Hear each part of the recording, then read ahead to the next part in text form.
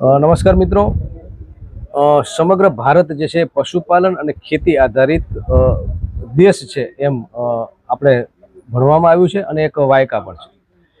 ઔદ્યોગિકરણ ઇન્ડસ્ટ્રીના કારણે એ વાત હવે માત્ર ક્યાંક ને ક્યાંક પુસ્તકમાં રહી ગઈ છે યા તો સાંભળવા પૂરતી રહી ગઈ છે. કારણ કે પશુપાલન અને ખેતી બંને સામે મોટા પડકારો છે. તો એની સાથે સાથે કપિલભાઈ જેવા ઘણા જાગૃત લોકો જે છે આજે પણ એની ચિંતા સેવે છે. એટલે નિરાશ થવાની જરૂર નથી. સમયાંતરે જે છે એ અવાજ ઉઠતો રહ્યો છે અને એટલે જ ભારતને કાયમ કોઈ પણ વ્યક્તિ ગુલામ નહીં બનાવી શકે. કારણ કે એના મૂળમાં જે છે એક ખુમારી, સંસ્કૃતિ અને એક જે છે એ આધ્યાત્મિકતાના બીજ આજે પણ અંકુરિત થયા રહ્યા છે. એટલે ભારતને લાંબા સમય સુધી ક્યારે પણ તમે સૂતો નહીં રાખી શકો. આ એક આપણા માટે ખુશીના સમાચાર છે. પણ હવે એક મોટો પડકાર આવ્યો છે કે જીએમ ફૂડ એ શું છે? એના વિશે પણ તમને દર્શકોને અમે માહિતી કરશું અને તમને તમારો સાથ કઈ રીતે આમાં જરૂરી છે એ કપિલભાઈ પાસે આપણે જાણશું. સૌપ્રથમ કપિલભાઈ, તમારો પરિચય આપજો. મારું નામ છે કપિલ. વડોદરામાં જતન નામની સંસ્થા દ્વારા ઓગણીસો ને પંચ્યાસીથી સજીવ ખેતી, પ્રાકૃતિક ખેતી, જૈવિક ખેતી ઓર્ગેનિક ફાર્મિંગ આ માટેના પ્રસારના કામો કરીએ છીએ. થોડું સંશોધન, બજાર ઊભું થાય, ખેડૂતોની જાગૃતિ થાય. નીતિ વિષયક બાબતો પણ સરકારી બાબતમાં ઘડે અને આટલા ચાર, ત્રણ ચાર દાયકાના અનુભવે દેખાય છે કે પ્રમાણમાં ઘણું કામ હવે થવા માંડ્યું છે. જી. ભૂતકાળની વાત કરીએ તો જેમ હમણાં આ વર્તમાન બે હજાર ચોવીસ ચાર મહિના આપણી પાસે છે તો જીએમ ફૂડ એના પહેલા કપિલભાઈ કેટલી લડત કરી અને એમાં શું સફળતા મળી અને કેટલી ખુશી થઈ એમાં? મારું કામ લડત કરવા કરતાં લોકોને સમજાવવું અને સાથે લેવાનું વધારે રહ્યું છે અને જૈવિક ખેતીનું કન્સ્ટ્રક્ટિવ કામ જ આપણે વધારે કર્યું છે. પણ છતાંય મોન્સેન્ટોના બિયારણો આવ્યા ત્યારે પેપ્સીએ બટાટાના ખેડૂતો પર કેસ કર્યા ત્યારે બીટી રીંગણને રોકવાના હતા, ત્યારે રાયડાને રોકવાનો હતો જીએમ રાયડાને રોકવાનો હતો.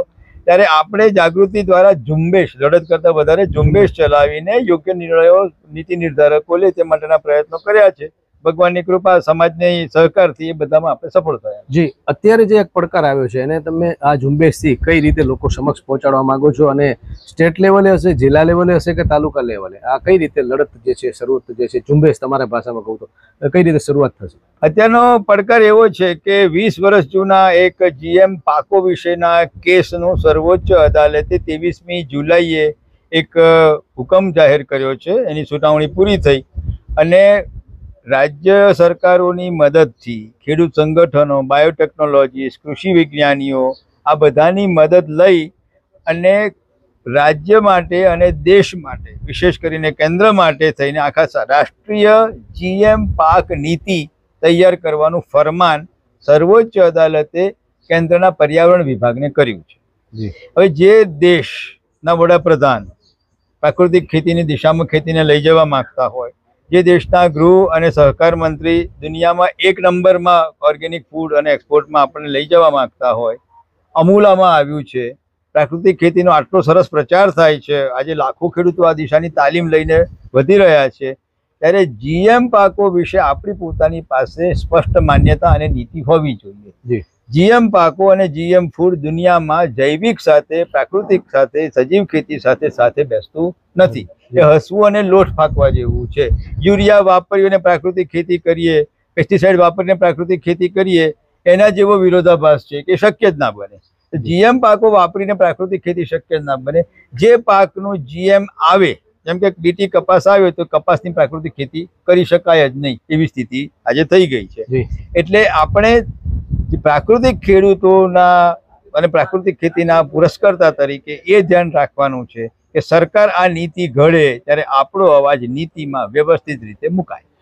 કંપની કઈ રીતે આમાં ભ્રામક પ્રચારો કરતી હશે અને ખેડૂતો કઈ રીતે જે છે એમાં જે છે એ ભોળવાઈ જતા? આ બે પ્રશ્ન તમારી સમક્ષ આવે છે. એક તરફ વિશ્વસ્તરીય માર્કેટ છે અને એક તરફ જે છે એ અભણ પણ કહી શકાય કે ખેતીમાં ખૂબ જાણકાર પણ એ પણ ઘણીવાર ભોળવાઈ જતો હશે. આ બે નીતિને કઈ રીતે કંપનીઓ પોતાનું બિયારણ વેચવા માંગે છે અને એટલા માટે દુનિયામાં આ પ્રોગ્રેસિવ ટેકનોલોજી છે, આખી દુનિયામાં ફેલાઈ રહી છે. તમે પણ એમાં પાછળ ના પડી શકો. ભારત પણ વિકસી રહ્યો છે, વિકાસ માટે જરૂરી છે. આવી બધી ભ્રામક વાતો કરતા હોય છે, પણ એની અંદર હકીકતો નથી. છેલ્લા સાત વર્ષમાં દુનિયામાં જીએમ પાકો હેઠળનો વિસ્તાર વધ્યો નથી. છેલ્લા સાત વર્ષમાં તેર દેશોએ જીએમ પાકોની ખેતી બંધ કરી દીધી છે. ભારતમાં પણ હવે કપાસની ખેતી ઘટવા માંડી છે. બર્કીનો ફસાઈ બીટી કપાસ બંધ કરી દીધો છે. મેક્સિકો બીટી અરે જીએમ પાકોમાંથી પાછું વળી રહ્યું છે. યુરોપના ઘણા દેશોમાં આજે આ જીએમ પાકોની ખેતી થતી જ નથી. જાપાન, રશિયા, ઇઝરાયલ આ બધામાં જીએમ પાકોની ખેતી કરવામાં આવતી નથી. એટલે આ પ્રચારમાંથી, આ પ્રચારમાં આવવા જેવું નથી કે આ વિકસિત ટેકનોલોજી છે. બીજું બીટી કપાસની ખેતીનો આજે ચાવીસ વર્ષનો અનુભવ થઈ ચૂક્યો છે અને ખેડૂત નક્કી કરે કે બીટી કપાસ આજે સફળ ગયો છે કે નિષ્ફળ ગયો છે. શરૂઆતના ચાર વર્ષ ખેડૂતોને, ચાર, પાંચ વર્ષ, દસ વર્ષ ખેડૂતોને ફાયદા થયા છે. પેસ્ટિસાઇડનો ઉપયોગ ઘટ્યો છે. ના નથી, પણ એ ચાર દિવસની ચાંદની પૂરી થઈ છે અને આજે ખેડૂતો થાકી ગયા છે, કપાસની ખેતી છોડી રહ્યા છે. ગુલાબી ઈયળે મિલીબગ આવ્યા વ્હાઇટ ફ્લાય આવી કપાસની, બીજા રોગો આવ્યા, એમાં કપાસની ખેતી સાફ થઈ ગઈ છે. ટેકનોલોજી ફેલ ગઈ છે આખી, આખો દેશ સ્વીકારે છે. કેન્દ્ર સરકાર પણ અલગ અલગ રીતે સ્વીકારે છે.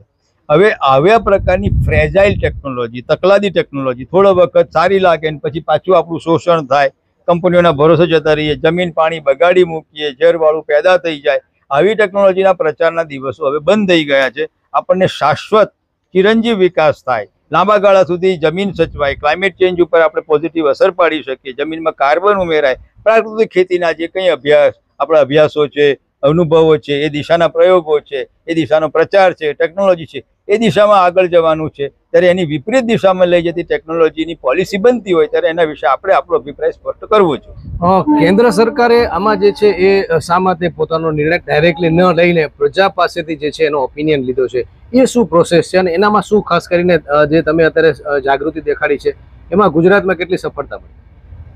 કેન્દ્ર સરકારે નિર્ણય હજી લીધો નથી. કેન્દ્ર સરકારને સર્વોચ્ચ અદાલતના હુકમથી કહેવામાં આવ્યું છે કે કેન્દ્ર સરકારના પર્યાવરણ મંત્રાલયે લોકોને પૂછીને જીએમ પાકો વિશેની પોલિસી બનાવી. એટલે હવે કેન્દ્ર સરકાર શું એક્શન લેશે તે હજી જોવાનું રહેશે એણે સર્વોચ્ચ અદાલતના હુકમને પાળવો પડે. અને આપણે એની પૂર્વ તૈયારી કરી રહ્યા છે કે જ્યારે પોલિસીનું કામ થતું હોય ત્યારે આપણે અંધારામાં ના રહીએ. કુરડીમાં ગોળ ના ભંગાઈ જાય. કેટલાક લોકો પોલિસી બનાવી દે અને પ્રજાની ખરો અવાજ એમાં રજૂ ના થાય. આ એક લોકશાહી દેશ છે અને લોકશાહીમાં લોકોનો અવાજ અંદર રજૂ થાય તે માટે આપણે કામ કરવાનું છે. આપણને આપણા હિતો છે, દેશના હિતો છે, પર્યાવરણના હિતો છે, ખેડૂતોના હિતો છે, સ્વાસ્થ્યના હિતો છે, તે અંદર અંકે થાય એવી પોલિસી બને. એને માટેનો આ પ્રયત્ન છે. આ માટે અમદાવાદમાં મારે થોડી મુલાકાતો થઈ છે. ભાવનગરમાં મિટિંગ થઈ છે. રાજકોટમાં એક મિટિંગ થઈ છે અને આજે ભુજમાં એ કાર્યક્રમ માટે આવ્યો છું. એ પ્રાથમિક જાગૃતિના કામો છે પછી એમાંથી શું વાતાવરણ બને છે તે જોઈ અને આગળ જતા રાજ્ય સરકારને આપણે કહીશું કે રાજ્ય સરકાર પોતે પોતાનું એક અભિપ્રાય બનાવી અને કેન્દ્ર સરકારને જણાવે. જી. થોડુંક ટફ કઈ રીતે છે? ઋતુરાજ ખાસ કરીને થોડુંક આ ઇન્ટરનેશનલ આખી મૂકે છે. એક પ્રશ્ન મેં કીધું તે પૂછવાનો બાકી છે. તો કપિલભાઈને.